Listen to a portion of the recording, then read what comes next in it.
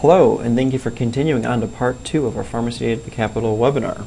If you're coming in from part one, we've already met, but again, my name is Eric Solowski. In this section, we're going to be covering registration. If you do not register by the deadline, September 11th at 5 p.m., you will not be allowed to participate in Pharmacy Day at the Capitol. In order to register, you can go to michiganpharmacist.org or follow the link at the bottom of this slide. If you follow the link at the bottom of the slide, your screen will look something like this. In order to continue your registration process, you must first log into your MPA account. If you're not an MPA member yet, you can become one very quickly by following the link here at the top of the screen. If you're already an MPA member and you're having problems logging in, you can contact Mike Wolf with mike at michiganpharmacist.org.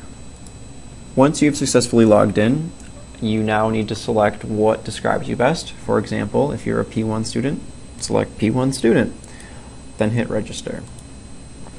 The next screen will require you to follow the instructions presented to you. This will mostly require you to hit next at the bottom right of the pages.